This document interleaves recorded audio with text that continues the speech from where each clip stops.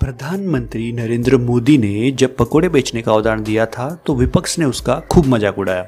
हालाँकि तब शायद ही किसी ने ये सोचा होगा कि एक पकोड़े वाले पर इनकम टैक्स के छापे की नौबत भी आ सकती है। पंजाब के लुधियाना शहर में ऐसा ही हुआ है।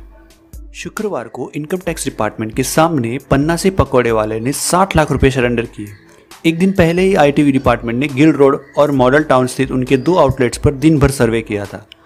इनकम टैक्स के विभाग को पुख्ता जानकारी मिली थी कि पकौड़े की दुकान के मालिक टैक्स बचाने के लिए पेपर कर इनकम कम दिखा रहे हैं।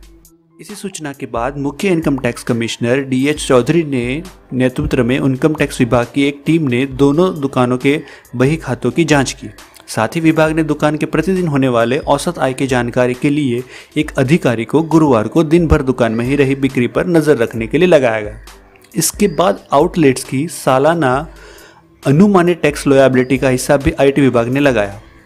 साथ ही इनके द्वारा चुकाए गए टैक्स से सालाना अनुमानित टैक्स लाइबिलिटी की गणना की गई। इस पूरे मामले पर इनकम टैक्स विभाग ने कोई भी प्रतिक्रिया देने से इनकार किया है।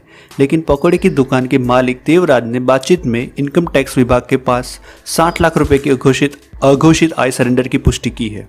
एस एस न्यूज़ को अभी सब्सक्राइब करिए और इस बेल आइकन को ज़रूर दबाइए ताकि आने वाली हर वीडियो की नोटिफिकेशन आपको सबसे पहले मिले।